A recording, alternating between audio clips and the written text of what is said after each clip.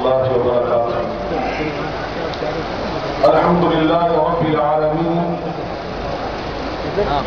والعاقبة للمتقين والصلاة والسلام على سيد المرسلين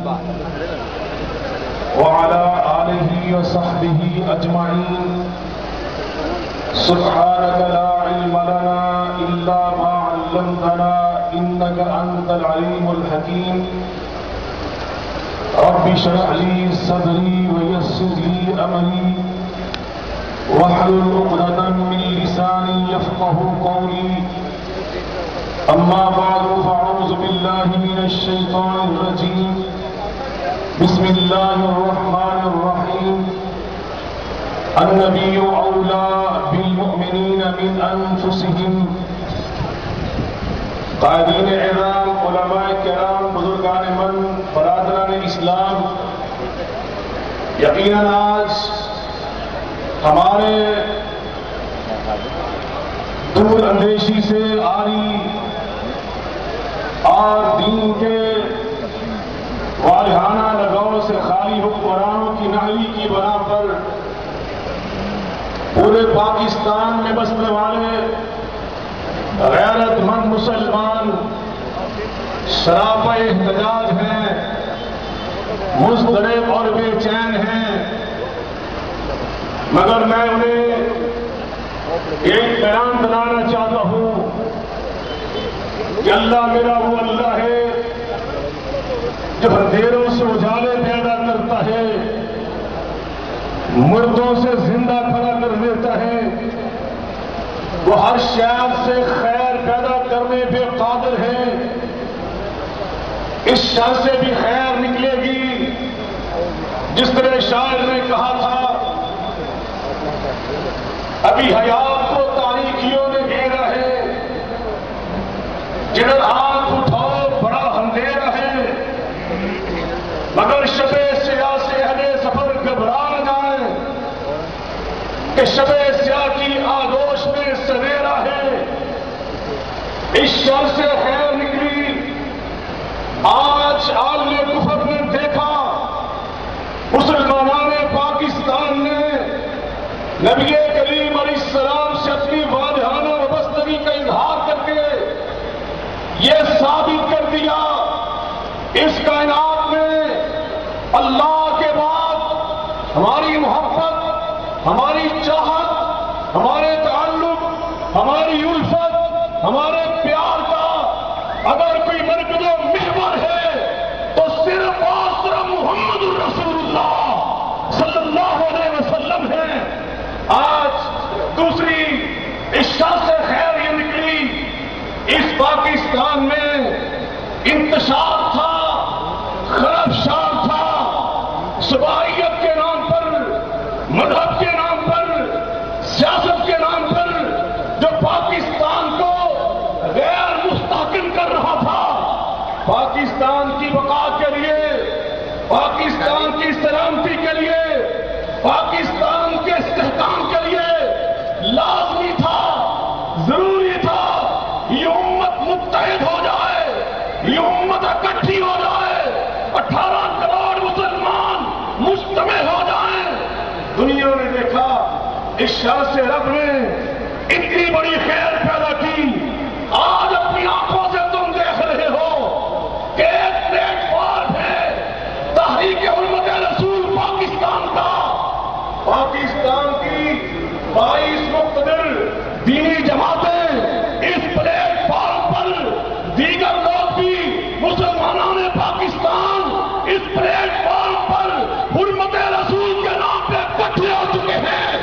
جس بات کی غمازی کرتے ہیں، یہ پاکستان اللہ اور اللہ کے رسول پہ کے نام پہ قائم ہوا تھا۔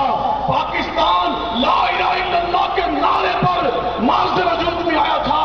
آج کلمے کے نام پر، آج اللہ اور اس کے رسول کے نام پر پوری قوم اکٹھی ہو چکی ہے مشتمع ہو چکی ہے۔ تیسری بات، دنیا کو ہم نے یہ عقیدہ سکھا دیا، یہ خیر دنیا میں پہنچی۔ پوری دنیا کے مسلمان اس بات پہ اکٹھے ہیں کہ ہم نے نبی پاک عدب ادب کرنا ہے۔ قرآن نے ہمیں یہاں تک ادب سکھایا یا لا تقولوا رائنا۔ صحابہ تو رائنا کہتے تھے، جس کا معنی بڑا پیارا تھا، ادب پر مبنی تھا۔ اس دور کے یہودی کمینے، انہوں نے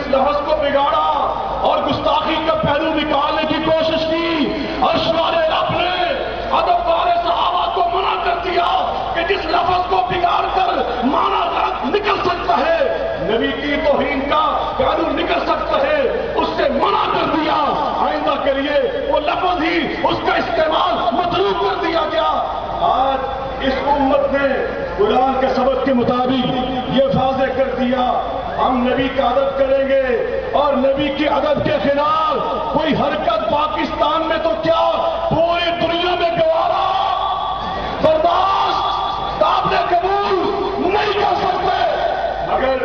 قرآن کو نہ پڑھنے والے، بایا بچھنڈا مفکر اسلام پڑھنے والے، اور ٹی وی پر آ کر الیکٹرانک میڈیا پہ آ کر، اس قوم میں فکری انتشار برپا کرنے والے، وہ مجرم، وہ دانشور، آج کان کھول کے سن لے۔ تم نے کون سا قرآن پڑھا؟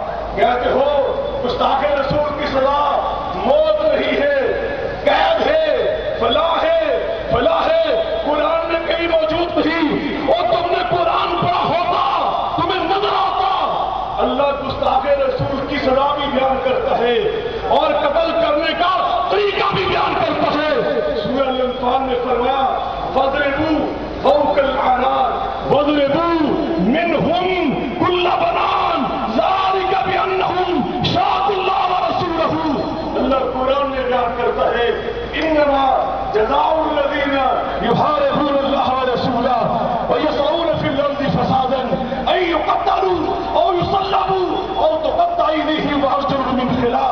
سن لو گستاخ رسول کی سزا اشرار رب نے بیان کی۔ اور یہ بھی سنو، نبی پاک نے فرمایا، ان اللہ لا يسمع امت محمد صلی اللہ علیہ وسلم علی ضلالت، جس بات پر، جس ادائے پر، دین کی جس جس پالیسی پر، جس موقع پر میری امت اکٹھی ہو جائے۔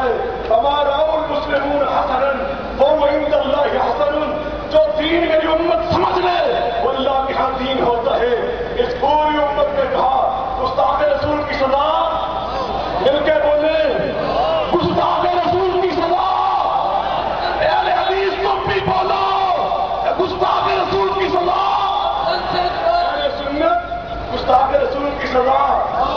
جو بندیوں بولو، گستاخ رسول کی سزا۔ بریلویوں بولو، گستاخ رسول کی سزا۔ شیعہ بولو، سنی بولو، سب بولو، گستاخ رسول کی سزا۔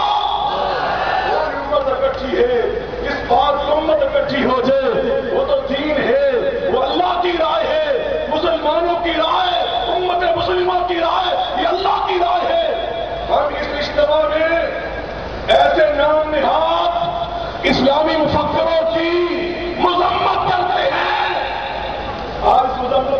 مذمت جو یہ کہتا ہے گستاخ رسول کی سزا موت نہیں ہم ان کی مل کے بولے زور سے بولے، ہم ان کی مذمت کرتے ہیں۔ اور آخری بات، شیری رحمان سن لے اور زرداری صاحب بھی سن لے۔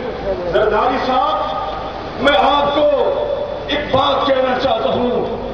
یہ مسئلہ ایسا ہے، جس مسئلے میں یہ فرق نہیں ہے مسلم لیگ تحریک انصاف، جماعت اسلامی، جمعیت علماء اسلام، جمعیت اہل حدیث، جمعیت علماء پاکستان، یہ فرق نہیں، پیپلز پارٹی قومی نیشنل پارٹی، یہ نبی کی محبت کا معاملہ ہے۔ میں تمہیں یہ کہتا ہوں، اگر تمہارے دل میں صدر پاکستان اللہ کے رسول کی محبت ہے، پرائم منسٹر صاحب، آپ نے کہا، میں خود آل رسول ہوں، میں سید زادہ ہوں نبی سے میرا تعلق ہے خونی میں آپ سے کہتا ہوں اگر آپ میں نبی کی سچی محبت ہے ان لاکھوں مسلمانوں کا یہ مطالبہ پورا کرو کہ شیرین رحمان کو اسمبلی سے نکالو پیپلز پارٹی سے نکالو. سبیلنا سبیلنا. اگر حرمت رسول پر اگر تم نے نہ نکالا تو پھر غیر مندوں کا اعلان سن لو. شیری رحمان شیری رحمان پاکستان کی اسمبلی میں داخل نہیں ہونے ابھی یہاں ایک فاضل مقرر کمیٹی کی بات کر رہے تھے، شہباز بٹی کی بات کر رہے تھے۔ میں کہتا ہوں، پاکستان کے قومی اسمبلی کے ممبران، چاہے کسی پارٹی کی ہو کان کھول کے سن لیں۔ ایسی کوئی کمیٹی جس کا تعلق نبی پاک کی توہین کے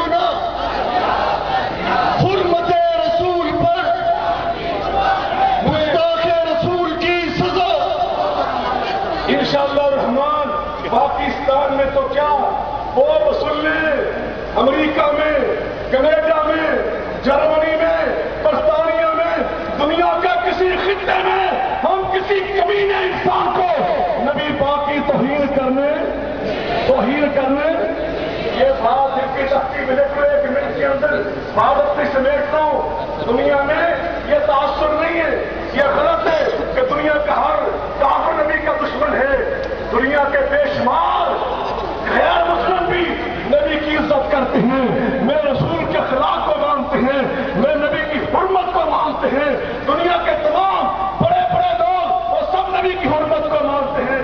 یہ چند کمینے ہیں، چند ناسور ہیں کہ جن کی ترجمانی خوب اپنی زبان سے گندی پیک نکال کے کر رہا ہے۔ وہ خوب سن لے، دنیا کے عیسائی بھی نبی کی حرمت کی خاطر ہمارے ساتھ کھڑے ہوں گے ہمارے ساتھ ہوں گے ہم چند لوگ رہ جاؤ گے جن کے سامنے ہم جوتے ماریں گے اور ان کو دنیا سے ہم ان کا بولے بستر دور کر دیں گے سبیلنا سبیلنا طریقنا طریقنا یہ تھے علامہ سید ضیاء اللہ شاہ بخاری، امیر متحدہ جمعیت اہل حدیث پاکستان، جو کہ تمام جماعتوں کی نمائندگی کا اظہار کرتے ہوئے